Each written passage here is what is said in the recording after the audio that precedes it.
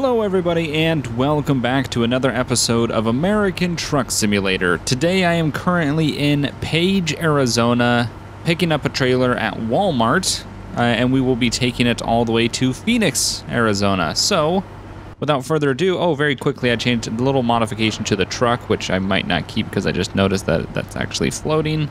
Um, I put a little light bar on top and got rid of the very top. Uh, it's kind of just the cutoff shelf. Doesn't have that wind diffuser on the very top of the truck anymore. Um, I kind of like the chop top, but I don't know if I like that light bar. At least not there, just because it's floating. But it looks pretty cool when it's on, like a little LED pattern.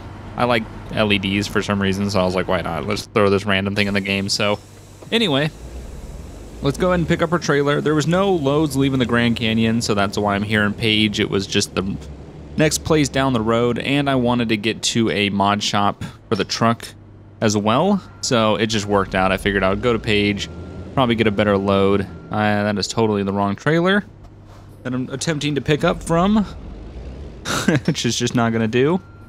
All right, so... Oh, these big old stacks. This is going to be difficult. Nope. I'm making contact, but it's not the right kind. I don't think this is going to be it either. I think we're very off. This truck is very long. So it's so hard to... Uh, so hard to uh, try to finagle this thing in the right way. Nope, still got to come over a little more. All right. So, this looks like it could be it. All right. Let's go and do a pull test real quick. There we go. All right, so we're connected. We'll go ahead and connect the trailer. There goes the landing gear. Uh, and there's that trailer, that amazing 53 foot. So today, we will be hauling 20,000 pounds of computers charged in Phoenix, Arizona. Oh, God, I did not...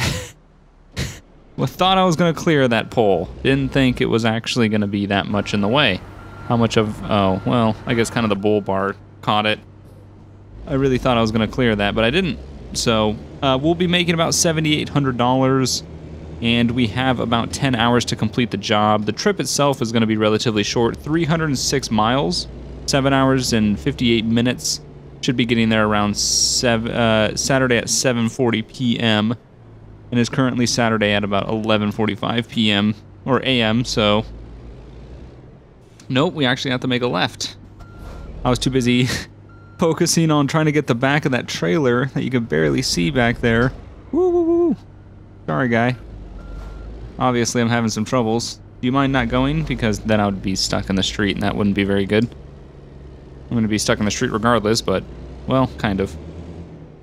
Yeah, I wasn't paying attention to where I needed to go. I made the wrong turn. Okay. Try to maneuver ourselves out of this city if we can. Jesus. Oh, there's a California Highway Patrol in Arizona, so that's a little strange. So yeah, a couple things. Uh, MHA did actually update um, to the version of ATS that I'm on, which is uh, 1.3. So it did update, but um, unfortunately, whoever decided, whoever makes the mod decided that it should be a thing where people should have to register to his website to be able to download it. And also, some people in the comments were talking about how he was asking money as well for it. So I don't really know what the situation is going on with that, but I'm not really wanting to sign up for a site that just to download a mod. You know, I don't want to make a whole I don't want to register an account just for a mod download, so I'm not going to sign up for that. And then the whole talks of, at some point, he's asking for money. I'm I don't support that at all.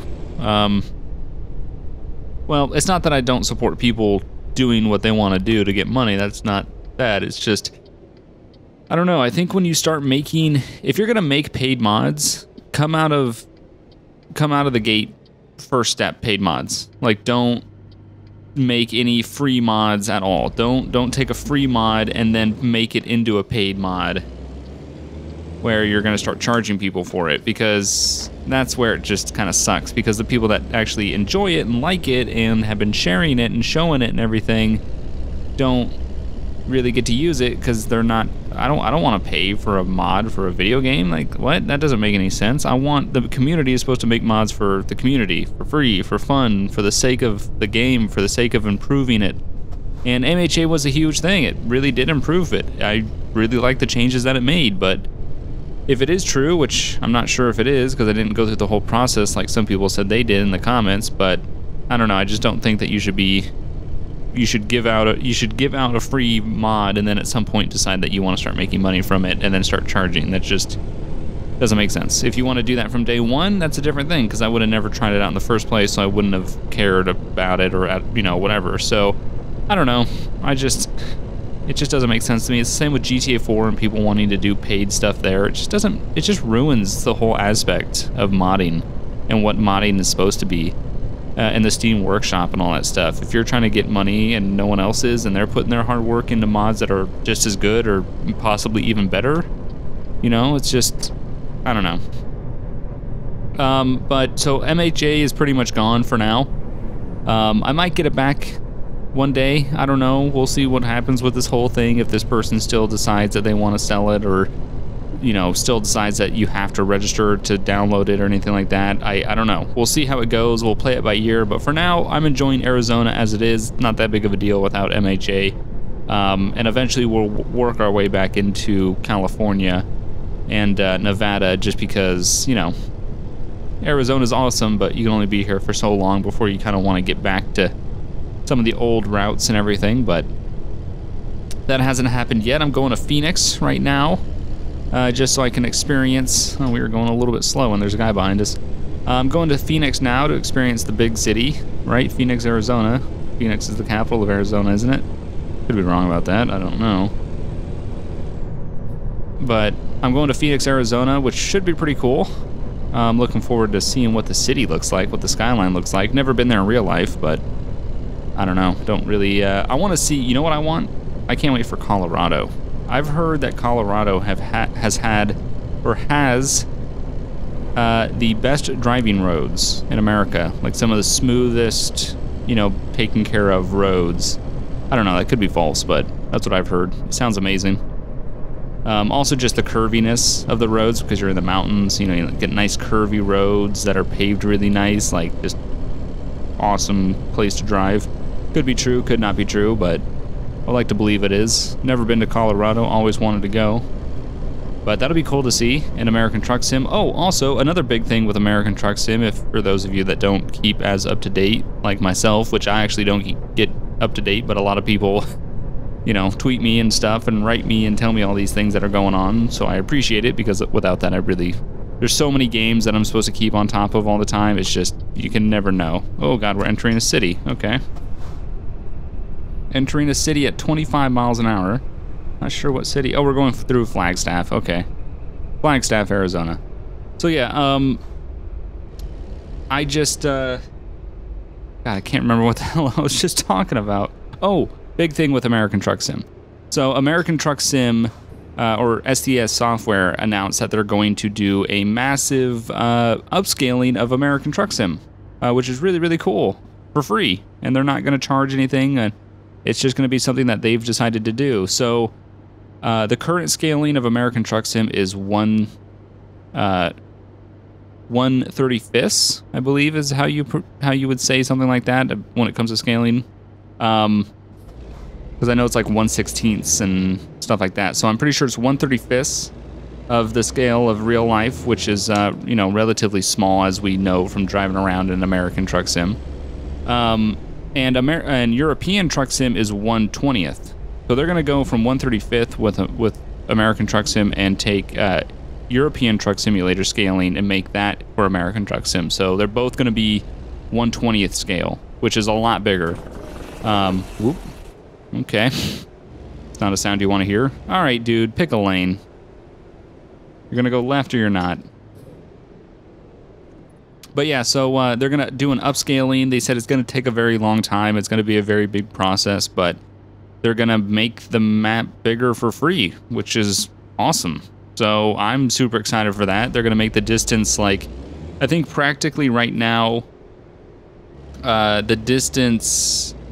The, the it, it, try to picture this in your head. This is going to be a very strange thing to try to picture, and I'm going to try to paint it as much as I can in your mind, but it's probably still not going to work. So you could probably just go Google the images that they showed. But if you're too lazy and you just want to hear me describe it, then fine, whatever. Uh, so they um, think of between Los Angeles and San Francisco in the current um, configuration that American Truck Sim is now. Actually, take all of California with the way American Truck Sim is right now, the entire state of California from top to bottom. With the new scaling, the entire state of California will practically fit in between, uh, like Los Angeles and San Francisco. Maybe not that dramatic, but it's pretty close. So that way you can get a pretty good distance on how far it's going to take to actually drive across California now, like top to bottom, because that takes a very long time in real life. And in the game, in the simulator, it doesn't take that long at all, remotely near that long. And I remember there's many times in European Truck Simulator where I would be on these massive trips for these very long time uh, and I haven't yet to experience that in American Truck Simulator. And I always said that that was uh, it's just because it's the map.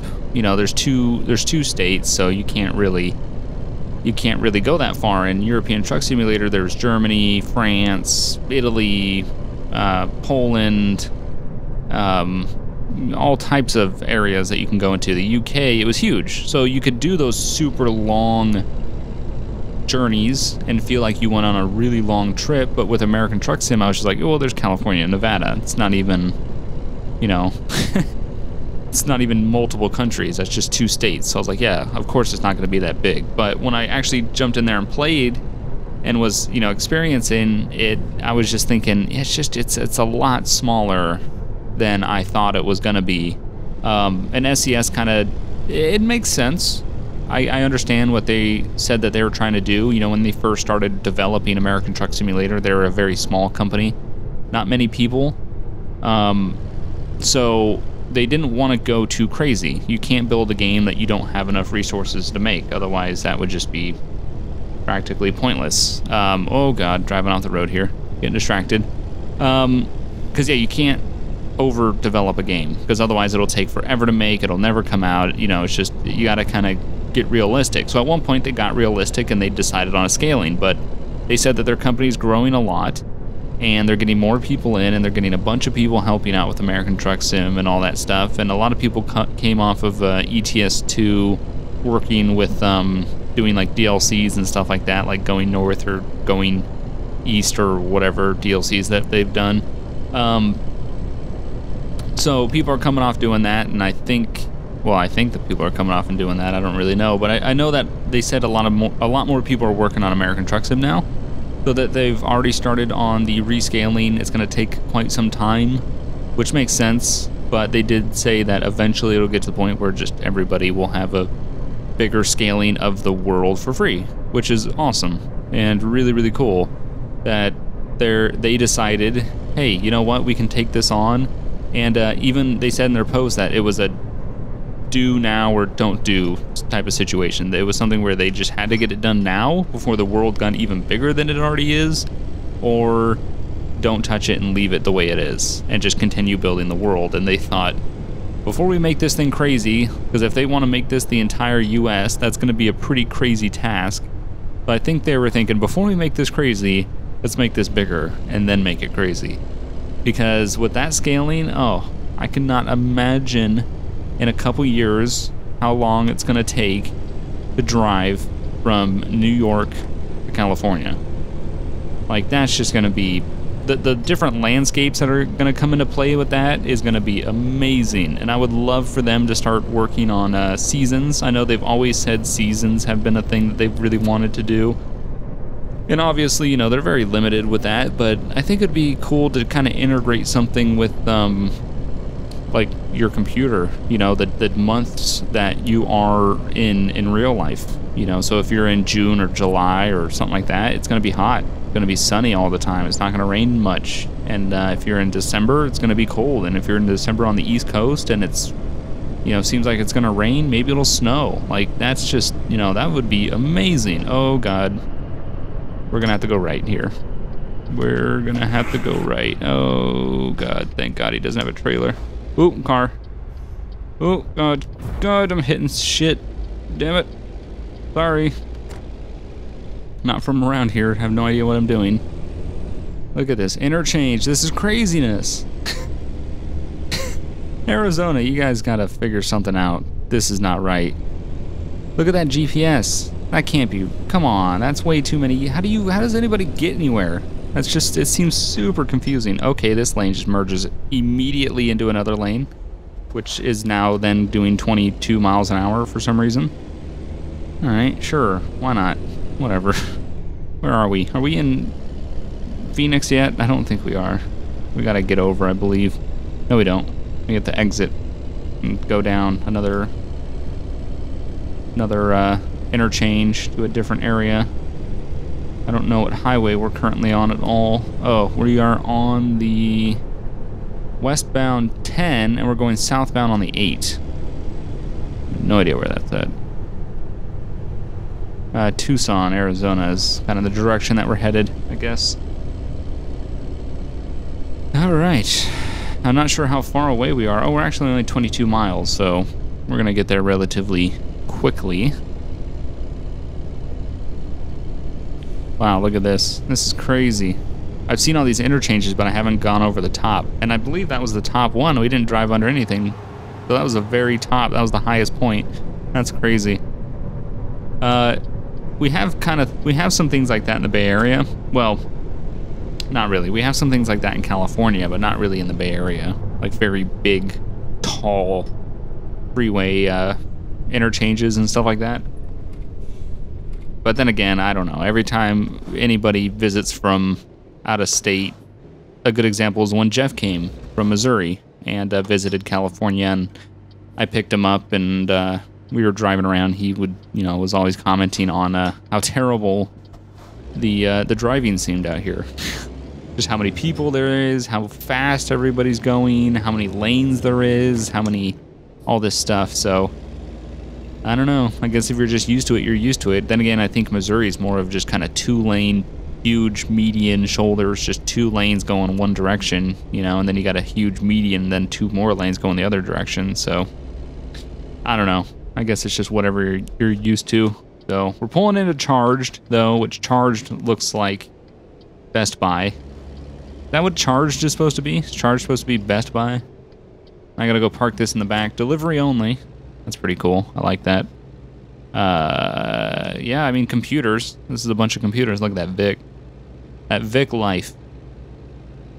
I love seeing those.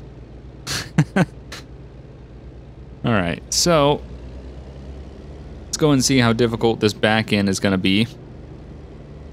Let's see how long we're going to... Oh. Interesting. This is not the setup that I would imagined. Don't be, it's on the other side of this Walmart trailer. On the other side of this Walmart 53 foot trailer. Don't, you know, we're literally right there. Okay, well, this might not be the worst. Might not be the worst. Give it a shot. Okay.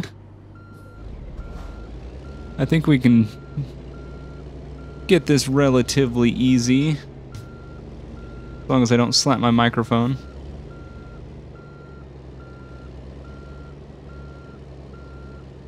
I think we're gonna clear that. Yep, we're gonna clear that. So, just trying to get ourselves in the general area. Ooh. I guess we're back against the... All the way, huh? Uh, yeah, seems like it. Yeah, just get ourselves in the general area, then we can just kind of precision back it in, which it looks like we're actually pretty lined up as it is.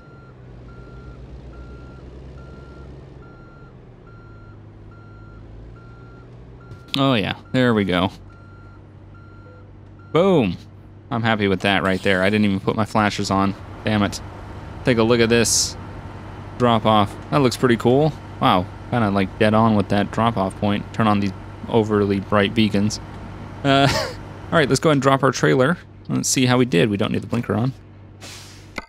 So 303 miles, 6 hours, 17 minutes, 44.9 gallons of fuel. We got 7,800 dollars and 448 XP, about halfway through level 21. So we're getting there, but uh, I might go ahead and take this light bar off. I don't really know, or move it back one position. I'm not sure if I'm going to keep that, but uh, go ahead and check all the mods in the description uh, that I'm using in this episode if you're interested in modding your own game. Also, remember to hit the like button, it really does help me out. Thanks for watching, and I'll see you guys next time. Bye.